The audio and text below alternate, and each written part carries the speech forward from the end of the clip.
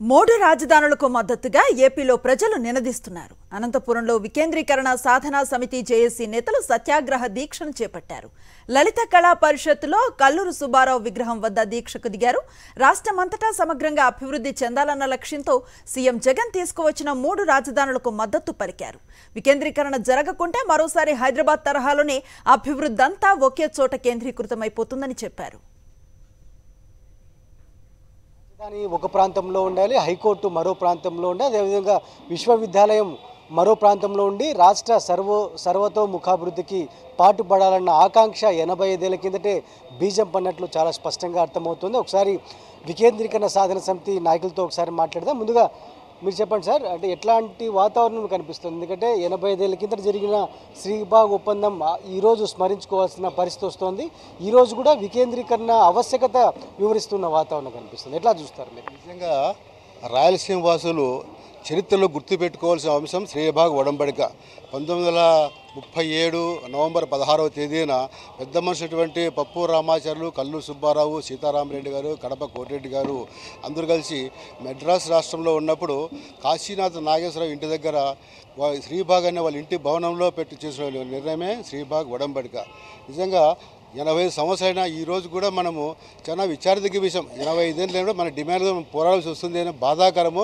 ప్రజల్లో అందరిలో కూడా గూడు కట్టుకున్నటువంటి ఒక వ్యతిరేకత ఈరోజు రాయలసీమ వ్యాప్తంగా కూడా వ్యతిరేకత వస్తుంది. ఇప్పటికైనా వికేంద్రీ జరగాలి వికేంద్రీకరణతోనే అభివృద్ధి జరుగుతుంది అనే ఒక భావం ప్రజల్లో రోజు రోజుకి నాటుకుంటుంది.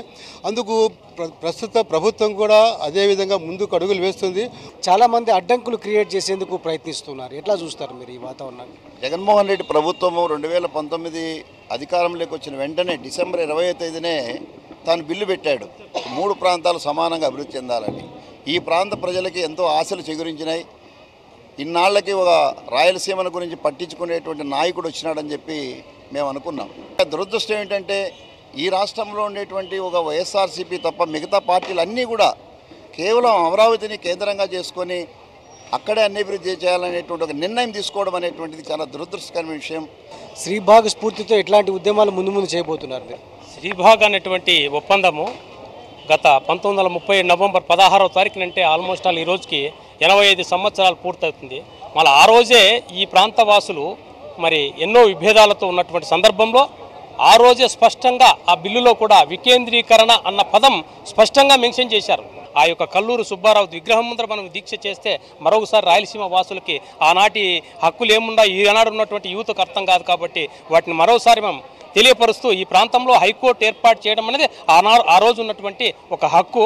దాన్ని ఒకసారి మతికి చేస్తున్నాం. మొత్తం మీద శ్రీభాగ్ ఒప్పందం స్ఫూర్తితో ఉద్యమాలు మరింతగా ముందుకు తీసుకెళ్తామని చాలా స్పష్టంగా అధికార అభివృద్ధి వికేంద్రీకరణ సాధన సమితి జేఏసీ నేతలు చెప్తూ ఉన్నారు. ముఖ్యమంత్రి వైఎస్ జగన్మోహన్ రెడ్డి గారు ఆంధ్ర రాష్ట్ర వ్యాప్తంగా వికేంద్రీకరణ చేస్తామని ముందుకొస్తే మిగిలిన రాజకీయ పక్షాలు అదేవిధంగా కొంతమంది స్వార్థపరులు ఎందుకు వ్యతిరేకిస్తున్నారన్న ప్రశ్నను వీళ్ళు సూటిగా ప్రశ్నిస్తున్న పరిస్థితి కనిపిస్తుంది. అందుకే ఇప్పటికైనా సరే ఏపీ వ్యాప్తంగా వికేంద్రీకరణ చేయాలని డిమాండ్ చేస్తూ ఉన్నారు. వీడియో శ్రీవాస్ చేతకొచ్చి శివారెడ్డి సాక్షి అనంతపురం జిల్లా.